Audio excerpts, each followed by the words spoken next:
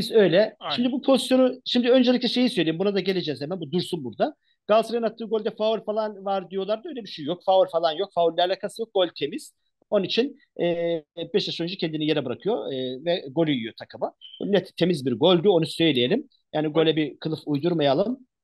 Şimdi Necip'in dirseğine çarpan topta penaltıdan söz edemeyiz. Çünkü Necip'in e, kollarını arkaya bağladı. Tamamen yani dirseğini açmıyor. Yani kollar arkaya bağlı. Yani şunu yapmıyor. Şöyle top geliyor. Şuraya çarpıyor. Onun için bu temiz bir pozisyon. Penaltıdan söz edemeyiz. E, onun için e, bu penaltı itirazı olanlar da bunu da böylelikle yorumlamış olalım. Bu e, vuruyor Galatasaraylı oyuncu. Devamında işte bak evet yani burada tamamen daha kolunu nereye kaçırsın bu adam yani. Evet. kolunu nereye kaçırsın? Doğru bir karar bu. E, ve gelelim e, şeye e, Beşiktaşların neymiş? Penaltı beklediği pozisyona. Daha doğrusu Beşiktaşlılar mı bekliyordu, Fenerbahçeliler mi bekliyordu onu da bilemiyoruz. Şimdi burada Galatasaraylı oyuncu ilk fotoğrafımız var mı? Orada e, kaç tane fotoğraf almışım? Üç tane fotoğrafımız İlk var orada. fotoğrafımız bu sevgili Halil. Tamam devam et. Bir fotoğrafımız da var. Devam et diğer fotoğrafı görelim. Bir tane daha var. Burada Galatasaraylı oyuncu topa dokunuyor. Galatasaraylı oyuncu topu kurtarıyor. Galatasaraylı oyuncunun eli Cenk'in belinde. Doğru. Galatasaraylı oyuncu topa dokunuyor. Cenk Tosun topu alamayacağını hissetti, gördü. Uyanıklık yaparak diğer fotoğrafa geçelim. Bir gerideki fotoğrafa gelelim. Gerideki Hayır, fotoğrafa, dilerim, gerideki gerideki fotoğrafa gelelim. Şimdi burada da evet tutma var hafif e, formadan hafif çıkıyor ama bırakıyor hemen. Anında bırakıyor Galatasaraylı. Ve burada Cenk Tosun Michael Jackson gibi geri dönüş hareketi yapıyor. Mert Hakan Yandaş üzülme sana arkadaş geldi. Mert Hakan Yandaş üzülme sana arkadaş geldi. Bu pozisyonun uzaktan yakından penaltıyla alakası yok kardeşim. Ha şunu söyleyeceğim bak. Şimdi şöyle. Hakem bunu saha içerisinde görse. Görebilse. Hakem çünkü ters yönde duruyor. Bana göre daha e, kendini Beşiktaş oyuncuları soluna doğru atmalıydı. Oradan daha net görebilirdi. Şimdi onun için burada burada kardeşim hakem saha içerisinde görse ve penaltı olarak yorumlamış olsaydı saygı duyardı. Bak saygı duyardı. Penaltı olarak yorumladı derim. Hı hı. Hani orada çekmeyi gördü, öyle yorumladı, öyle değerlendir. Ama buraya var karışamaz. VAR'ın arkadaşları VAR protokolünün şeyi nedir görevi? Efendim VAR siyahla beyaz gibi bariz bir hata görürse ve net delil gösterebileceği bir pozisyon varsa karışır. Şimdi bana şeyi örnek veriyorlar işte bazı arkadaşlar. Geçen haftaki Galatasaray ile Fenerbahçe maçında yaşanan penaltılarda VAR'ın çağırmasını. Yanlışı bana örnek göstermeyin arkadaş. Yanlış o, yanlış doğru söyledik geçen hafta. Yanlışı bize örnek O, göstermeyin. o bizim ülkemizin ve kültürümüzün biliyorsun İşte vazgeçilmezi. o yanlış. Evet o yanlış. Yanlıştan yanlışın Şimdi bak. e, doğru olduğunu iddia edip o şekilde devam etmek. Yanlışı yanlışla kapatma. Evet evet. Şimdi burada onun için diyorum ben burada hakem saha içerisinde görüp yorumlamış, değerlendirmiş olsaydı saygı duyardım. Derdim ki o hakemin görüş. Bak hakemin görüş. Benim görüşümde kardeşim bu pozisyon penaltıyla alakası yok. Bu benim görüş. Ama e, orada da hakem gör, verseydi penaltıyı kardeşim tamam derdim. Hakemin görüşüdür. Saygı duyarım derdim. Ama vermedi kardeşim. Hatta oyna işareti yaptı. Devam dedi. Hiçbir şey Yani yok burada. Halil Umut. Meler'e e, iki şey karar aldırttı diyebiliriz. Birincisi Derek Köhn'ün Cenk Tosun'dan önce topa müdahale etmesi. Dolayısıyla Cenk Tosun'un topla müdahalesinin olmaması, topu kaybedeceğini Olmaması, evet. anladığında çizgide olduğunu görünce de daha rahat veya daha göstererek hani bir de diyorlar ya faul aldığını göster. Bu kadar görmemizi istiyor. Biz kör değiliz Cenk Tosun arkadaşım lütfen yapma o kadar da. Herhalde Halil Umut Meler de buna e, ben gördüm göreceğimi deyip penaltı çalmama kararı İnanmadı. verdi. İnanmadı kardeşim inanmadı. Yani şöyle bir şey var. Ee, ya öyle tak bak şimdi bir futbolcuyu ne kadar hızlı ve sert çekerseniz çekin bir tur attırabilirsiniz etrafında. Bir tur attırabilirsiniz. Bir tur attırabilir. Formasından çekersin bir tur atar Ya etrafında. burada üçlü Kardeşim, vurgu var ya. Artistik Ya arkadaşım ya Kusura ayıptır bakmayın. ya ayıptır ya. Ayıp. Cenk Tosun. Çık pistlerde oyna o zaman. Sahnelerde oyna kardeşim. Bu ayıptır ya. Hakemi Mansız tribüne satmaktır kardeşim. Hakemi tribüne satmaktır. İlhan Mansız Hakemi sakatlanıp futboldan uzaklaştığında buzda dans yapmıştı televizyona çıkıp. E, Peki O o da da o da çıksın o da dans etsin. Evet. İşte O yapabilir. da çıksın. Aynen. Şimdi e, Icardi'ye yapılan bir pozisyon var. E, Icardi'ye yapılan bu, bu değil. Bu değil. Bu şey, bu kırmızı kart. Bu, tamam bunu görelim, bunu Bu değerlendirelim o Barış. Alper'in Bu, bu Omar kırmızı, Kole ile bu net kırmızı var. Evet, Bak, bu net kırmızı kart. Ama burada burada da yine diyor ki e, yani aslında tam VAR'ın e, pozisyonu değil bu da normalde. Normalde VAR'ın değil. Çünkü hani te- sert geliyor, tehlikeli geliyor. Ayak dizinin altına böyle sıyırıyor. Vuruyor ve sıyırıyor. Burada hakem görüp saha içerisinde değerlendirmeliydi. Ha VAR da karıştı. Niye karıştı? Çünkü Türkiye'de bu tür pozisyonlara karışıyorlar. E, karışsın tabii buna da yani kırmızı kartla attırsın tabii. Ya evet burada sıyırdığını görüyor Halil Umut Meler. Ee, O yüzden sarı kartla bir Evet. değerlendirme yapıyor. Ama e, hem tehlikeli hem de sanırım bu Kırmızı. kaymanın devamında sağ ayağını da yerden kesip Evet, evet. oyuncunun düşmesine neden oluyor. Yani iki ayağında topla alakası yok. Bir tanesi sol dizine çarpıyor, bir tanesi öbürünü yerden kesiyor. Topla alakası olmayan ve bu şekilde tehlike yaratabilecek bir pozisyonu hakem kırmızı kartla değerlendirdi. Bunu da abartanlar olduğunu görüyorum. Yani isterseniz o zaman her futbolcu birbirine böyle girsin. Sıyırırsa ödül Kırmızı. Verelim. Yani Sıyırmazsa vurma veya hayır hayır. Çünkü istenen bu. Herkes böyle girsin. Böyle evet, mücadele evet. etsin. Böyle saldırsın, savaşsın istiyorlar. Kıran Ama kırana. sonra şimdi burada Barış Alper'e tekme atılıyor vesaire. Sakatlık yaşayacak. E sonra sen Hırvatistan'ı yenen forvetini Avrupa 2024 şampiyonasında kullanamıyor olacaksın. Sonra yazın diyeceksin ki ah işte bu Türkiye milli takımında olmuyor. Neden? İşte atıyorum Omar Koley böyle bir girdi sakatladı. Ya Evet, bir sonrakinde sakatlanacak bu çocuk. Kırmızı kart vermesen Sporcu, buna. sporcu, sporcu sağlığı. Yani bu e, yani burada Ki şunu da giriş söylemek lazım. Yani Barış Alper'in çift alıyor bir de ya çift alıyor. çift alıyor işte. Bir ayağı sağda da bir ayağı solda iki ayağında yerden kesiyor. Topla alakası yok. Başka maça Evet yani ama bu evet bu e, şimdi burada topla alakası yok. Bir ikincisi şey yani e, kardeşim böyle bir giriş yok. Yani şu Barış'ın ayağı yerde sabit olsa kırılırdı. Doğru. Barış'ın ayağı yerde sabit olsa kırılma tehlikesi Doğru. vardı. Doğru. E, yani gelen kardeşim bu e, bu kırmızı kardeşim. Evet bu kırmızı E, kardeşim. Bunun- ben bunun- her şeyden öte Kerem Demirbay korner kullanırken Halil Umut Meler Kerem Demirbay'ı çağırdı. Oranın sakinleşmesini beklemesini söyledi. O sırada yine Cenk Tosun'u bugün çok konuştuk ama hiç anlamadığım bir şekilde hakemin vermiş olduğu bir karar sonrası yerini e, değiştiren rakip oyuncu saldırmaya başladı. Geçip kullansana şurada diye. E, Allah'ım yani ya. orada da hakemi dinliyor. Acaba şey diye düşündüm. İkisi de gurbetçi Almancı. Biri Almanya milli takımını seçti, biri Türkiye milli takımını seçti. Böyle bir şey mi var acaba? Hani genel olarak dedim anladın mı? O ülkede de yaşadığım için başka milli takımı seçenlere böyle mi davranılıyor? Böyle bir düşündüm açıkçası. Diğer taraftan yani Cenk Tosun'a aynı şey olsa Cenk Tosun burada ben korner kullanmam deyip kendisi gidecekti. Bunu da biliyoruz. İkincisi e, oyunu Halil Umut Meler durdurdu. Yan hakemini ortaya çağırdı. Barış Alper'e aynen burada bulunduğu pozisyonların bir tanesinde pet şişe ve onların ucu keskindir, göz çıkarır, boyunu boy- boy- boynunuzu keser. Kalçasına denk geldi yanlış görmediysem. Burada böyle bir anonsla geçiştirildi yani. Sadece kendi hakemini aman başına bir şey gelmesin diye çağırdı. Orada bile Beşiktaşları itiraz etti. Bu da ayıp. Ah, ah. Üçüncüsü bak yani Kaan e, Ayhan'ın evet. Kaan Ayhan'ın ensesine geldi yanılmıyorsam şurasına. Bir fotoğraf paylaşılmadı hayret. Aa bak burasını kesti filan şişirdi pas bir şey oldu diye. Onu da şaşırdım ama yani daha ne olmasını bekliyor acaba hakemler bu tür maçlara en azından ne bileyim şu tribünü bir boşaltın demek için. Yani daha önce Beşiktaşlı oyuncuya kelebek fırlatıldı ya. Beşiktaşlı Evet. oyuncular bunun mağduru oldu ve Beşiktaş taraftarları bunun isyanını yaptı. Yani Evet. illa kelebek mi İşte ama fırlatmak bize lazım yapılınca Kaan Ayhan'a ya da bize öbürüne? yapılınca bize yapılınca yanlış, başkasına yapılınca müstahak. Bizde öyle ama. İnanılmaz, Bizdeki inanılmaz. zihniyet öyle Aynı, maalesef. bakın aynı Maalesef. stadyumda iki hafta önce e, Bahtiyar Zaynutdinov eliyle engelledi oyuncuya çarpmasını. Evet. Evet. Yani Beşiktaş taraftarı neyin e, düşüncesiyle bunu yapıyor ve Taraftar hakemler var mı sence? inatla nasıl oluyor da bu olayları gerçekten hala ve hala durdurmak, bitirmek için elini, yumruğunu masaya vurup ben bu maçı 15 dakika tatil ediyorum, şu tribün çıkana kadar diyemiyor. Ya deyin, Federasyon federasyon ne yapıyor? yemin ediyorum Halil Umut Meler bu kararı verdikten sonra vallahi billahi diyorum bir daha da yumruk yiyecek. Biliyorum birileri saldıracak üstüne. Ama lütfen yanlış anlamasın. Halil Umut Meler veya e, Hamit Umut Meler fark etmez. O kararı alsın bir daha yumruk yesin.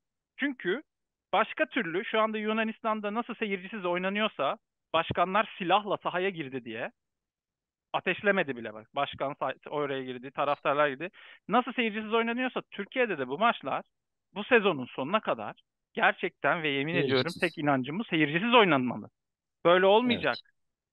Böyle gitmiyor Maalesef. çünkü. Biz sadece üst liglerde değil, alt liglerde de böyle olaylar çok Ligler, yaşanıyor. ligler diyor ki yok Eyüp Spor Mehmet Ağar'la şey yaptı da ondan sonra da kavga çıktı. Bodrum Bizi ilgilendirmez kardeşim. Hayır abi ikisi de bak ikisi de aynı mentaliteyle kurulmuş takımlar. Kısa sürede parayı basarım Süper Lig'e çıkarım o havuza girerim oradan 3-5 oyuncu transferiyle cebimi doldururum planıyla. Yani Bodrum Spor bana bir 10 yıllık plan mı koydu? Eyüp Spor bana 10 Hayır. yıllık plan mı koydu? Hayır. Hayır. Üstten bir yerlerden sermayesi olan adamlar geldiler. Tamam bir şekil sistem 2-3 senelik bir şey koydular. Ama en kısa zamanda birinci lige çıkmanın hırsıyla geçtiğimiz hafta oynanan maçta o hırsın sonucu o kavgalar yaşanıyor. Yok Mehmet Ağar geldi Evet. o yüzden falan değil. Bakın Ya Allah şey gerçekten mi? olur? planlarının tek atımlık kurşun olmasından dolayı böyle davranıyor herkes. Kimse demiyor Evet. ki ben şöyle bir planımı yapayım, A planımı, B 10 yıllık planımı. 10 yıllık Ha. bir sistem oluşturayım. Yok. Yok. Bu ayrı Ama bir bizim dert. hiçbir takımda yok. Hiçbir Bu takımda ayrı yok bir dert ama bakın yani Uğur Demirok Galatasaray altyapısı U21, U19 takımlarında oynamış. Süper Lig'de oynamış. Akisar'la yanılmıyorsam Okan Buruk'un olduğu dönemde kupa da kazanmış bir oyuncu. Bu ülkenin bir değeri. Evet. Ya adamın gözü retinasından çizildi. Ya mesela bu maçın tamamen iptal edilmesi iki takıma da artık ev sahibi kim Eyüp müydü bilmiyorum ama Şey Eyüp- e, yok Bodrum Spor'du. pardon Bodrum, Bodrum Spor Spor'a burası. kusura bakmasınlar. Direkt saha kapatma, Sezon sonuna kadar seyircisiz. kadar vesaire ve hani puan bile silebilirsin bu olaydan dolayı. Ha, Türkiye'den bahsediyoruz. Volkancığım çok güzel şeyler konuşuyorsun. en Çok güzel azından. şeyler. Çok, Çok güzel seviyorum şeyler söylüyorsun. konuşmayı ama yani Ah, gerçekten ah. bu olayları görüyorum. E neyi bekliyoruz abi? Daha geçen haftaların bir tanesinde yine o şey hakeme kadın hakeme daha saldırılmıştı. Neslihan hoca mıydı? Murat Dağı mı? Evet, Yoksa evet. eee Melis Özçiğdem miydi? Tam hatırlayamadım ama yani her hafta bir hakem olayı oluyor ve TFF bu konularda hiçbir açıklama yapmıyor. Hiçbir çıkartmıyor, çıkartmıyor. Ceza almıyor. Taraftarlar hala orada.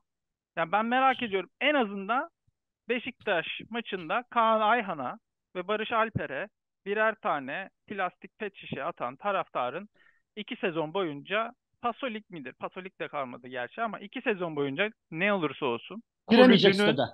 Kulübünün kendisinin ceza vermesi ve bunda Twitter hesabından açıklaması lazım. Biz çok efendiyiz, biz çok şeyiz, biz böyleyiz, Ha, geç, şerefli, geç. Geç, oynarız, geç, geç. hakkımızla kazanırız falan gibi sözler söyleyip ondan sonra hakkı olmayan Masal. penaltılar istemek, ondan sonra hakkı olmayan bir şekilde e, sahaya müdahale edip rakip oyuncuyu e, konsantrasyonunu veya yaralanmasını sağlamak ayıp. Yani kendinize belirlediğiniz sloganların arkasında duracak hareketler yapın en azından.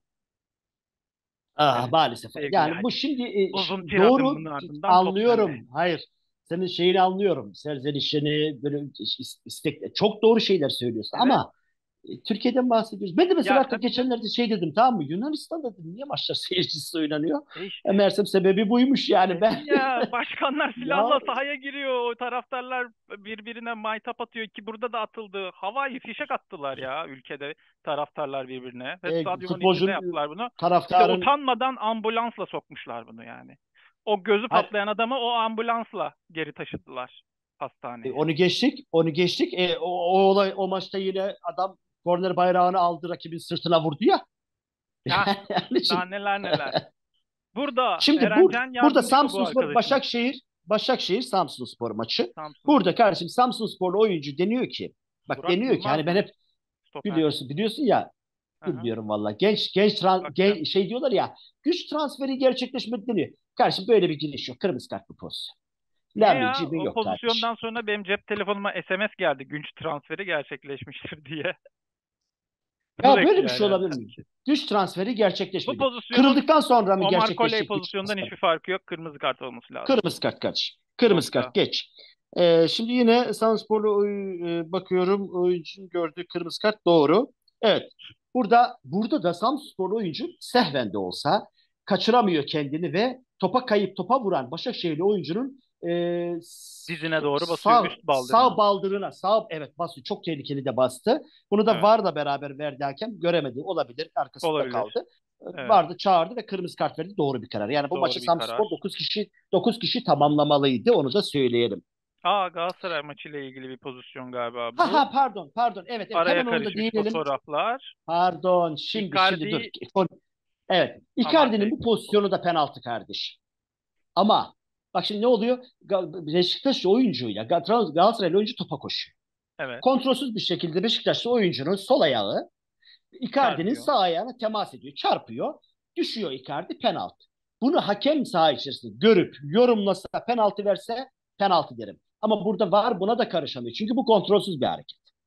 Bu kontrolsüz bir hareket olduğu için. Yani istemsizce yapılan bir hareket olduğu için. Aha. Şimdi istersen şu çekme Diyorsun vardı ya hani çekme. Temastan sonra ayağını Evet bozuyor düşüyor. Ve düşüyor. düşüyor. Aynen bozuyor. Hangi çekme bozuyor düşüyor. Ha, Şimdi o eski fotoğraflar attım ya sana bir önceki fotoğraflar. Bu Galatasaray Ce- Cenk Tosun'un pozisyonu vardı ya hani çekti kendini yere. Ha bir de e, Trabzonspor Fenerbahçe maçından bir pozisyon attım sana. Yine Beşiktaş Trabzon maçından pozisyon attım sana. Buna penaltı diyen Beşiktaşlı taraftarlar, sevgili arkadaşlar, burada Fenerbahçeli Fenerbahçe arkadaşlar. maçından olan var. Şurada Fenerbahçe maçında bu pozisyonda Trabzonspor oyuncunun formasını e, istiyordu Fenerbahçeli oyuncu. Çıkartıp almak istedi. Hakem burada faul vermedi. Devamında Fenerbahçe'ye penaltı vermişti. Hatırlatırım sevgili arkadaşlar. Sevgili Beşiktaşlılar ve Fenerbahçeliler. Evet, Şimdi bak burada. görüyorsun. Burada. E, bir pozisyon daha var yine Beşiktaş Trabzon maçında. Onu da attım sana. Burada hem diz hem üstten pardon var. forma, formasını çekiyor. Burada penaltı vardı sevgili Beşiktaşlar. İsyan ettiniz mi Trabzonspor'un penaltısı verilmedi diye? Bu verilmedi. Sevgili Ardından da Semih gol attı ve haftanın golü Evet. seçildi o. Hayır. Peki buna isyan ettiniz mi sevgili Hayır. Beşiktaşlılar? Sevgili Fenerbahçeliler? Hayır. Onun için sevgili Galatasaraylılar? Hayır. Yani onun için bak görüyorsun değil mi? Forma çekiliyor. Alttan diz vuruyor kalçaya. Vesaire Şimdi vesaire. gel. Neyse biz gelelim e, Trabzonspor Alanya maçına. E, son, Son maçımız maçımız. bu bizim. Evet son maçımız. Hemen e, ona bakalım. Nedir burada? Uğurcan'a yapılan hareket faul. Şimdi burada sarı kart diyorum buna ama sarı kartla kırmızı arasındayım kardeşim. Yani burada da gelip kontrolsüz bir şekilde Uğurcan'ın ayağının üstüne bileğinin altına basıyor. Dikkat et kardeşim yani zamanlama hatası yapma. Kaleciye bu hareketi yapma Allah korusun. Yani tamam sarı kart verdi saygı duyarım hakem. Ben sana bir şey kırmızı da verse niye verdi demem. Hakem yani saha içerisinde maç Bence esnasında. vermesi lazım. Ya ayağa çok tehlikeli hareket. Görüyoruz. Evet evet bayağı bastı yani bileğin altına bastı gerçi tamam ama çok tehlikeli hareket. Buna kırmızı kart da versen için verdin demem. Gelelim Alanyaspor'un ikinci golünde ihlal yok onu da söyleyelim. Burada Uğurcan o faul aynı pozisyon aynı pozisyonun devamı. Burada Uğurcan faul kullanıyor. Topu yanındaki Trabzonsporlu oyuncuya hayır e, bir sonraki fotoğraf. Burada Dakikayı faul verdi hakem sarı kart şey verdi. yaptım da ama tekrar gösterdiği için tabii burada dakikayı göremedik. Evet, Evet, göremedim. bu Burada var ama dakikası bak. Burada Tabii var tabii dakikası. 37. Hı hı. Evet. Şimdi burada Uğurcan serbest vuruşu kullanıyor. Yanındaki arkadaşına pas atıyor. Yanındaki arkadaşı da elini kaldırmış. Onu görmüyor. İlerideki bir oyuncuyu işaret ediyor. Bu arada şunu söyleyelim. Ceza sahası içerisinde kullanılan out atışlarında veya serbest vuruşlarda rakip oyuncular ceza sahası dışındaysa ve top vurulduğu anda oyuna girmiş sayılıyor. Eskisi gibi top ceza sahasını terk edecek kuralı kalktı. Top vurulduğu anda oyundadır. Şu anda burada Antalyaspor oyuncunun herhangi bir ihlali yok. Ve Transporlu oyuncu orada uyuduğu için Antalyasporlu oyuncu koşuyor, topa vuruyor ve golü atıyor. Alanya. Temiz bir gol. Tem-. Alanya pardon. Temiz bir gol. Onun için onu da onun için aldım. Hem kuralı öğrenmek adına bilelim onun için. Hı. Burada da şu pozisyonda da Alanyaspor'un e, burada Kaptanı. rakibinin yüzüne ne yapıyor? Şimdi burada topla oynama şeyi var mı Alanyaspor Şey oyuncunun? diyor bence hakeme itiraz etmiş bence Trabzonlu. Abi dur diyor kırmızı kart göreceksin yapma diyor ya. Ağzını kapatıyor. Niyet Ya şuraya bakar mısın? Yüzüne yüzüne şamarı geçirdi. Sert de vurdu yani. Burada Alakasız bir yerde. Evet. Evet. Şimdi bu karşı net kırmızı kart. Yüze Sarı, gelen kırmızı. Hakemin FIFA, FIFA diyor o ki dönemki FIFA o andaki oyunun gerginliğine göre verebileceği bir şey ama bence Ama- de ama diyor ki mesela hayır da demem. diyor? Yüze gelen yüze gelen hareketlerin şiddeti ölçülmez. Yüze Yakın geliyorsa değil. Bu arada bir Değil. tane daha insan bile olabilir. Düşün yani olabilir. Yani o e- o elin kolun orada ne işi var? Değil mi yani? O kolun orada ne işi var? Doğru. Onun için bu kırmızı kart olmalıydı diyorum ben arkadaşlar. Kusura bakmayın. Rakibin yüzüne böyle şamar vuramaz. Burada da Alanya Sporlu oyuncu aynı oyuncu hani Uğurcan'ın ayağına basıp sarı kart gören oyuncu burada da Trabzonspor oyuncunun ayağına net bir şekilde basıyor. Bir fotoğrafımız daha var sanırım onunla ilgili. Evet bak burada net basıyor. Bu da faul verdi ama ikinci sarı kartı veremedi sevgili hakem arkadaşımız Volkan Bayarslan. Volkan Bayarslan'ın hakemlik yapması hala bu, zaten beni bu, güldürüyor bu, evvel. Güldüğüm gibi. Bu ikinci bu ikinci sarı kart sevgili Volkancığım. Atacaksın. Atacaksın kardeşim. Ayağa basma. Net bir basma. Net bir basma atacaksın. Alanya ee, burada e, şekilde rakibini 10 kişi kalmayarak 3-1 yenmiş oldu. Ama tabii, Trabzon'un yani bu da skora... tabii ki bu tür bir bahaneye kendini savunacak, Yok yok tabii ki tabii yok. ki. Biz onun için almadık zaten. Yani burada e, verilen yanlış kararları konuşuyoruz. Hatalı yanlış kararlar, karar. doğru kararları da konuşuyoruz. Doğru kararları da konuşuyoruz. Bu sarı kart olmalı. ikinci sarıdan atılmalıydı. Sevgili Halil ağzına sağlık. Bu haftaki programı da dolu dolu bir şekilde bazı tiratlarımızı da araya sıkıştırarak bitirmiş bulunuyoruz. Ağzına sağlık. Çok teşekkür ediyoruz. Ben teşekkür ediyorum. Sağ ol. Siz sevgili izleyicilerimize gösterdiğiniz ilgi bizi şımartmaya devam ediyor. Devam edin şımartmaya. Like'larınızı da gönderin. Bir sonraki Hakem Günlüğü programında görüşmek üzere diyoruz. Bay bay. Hoşçakalın.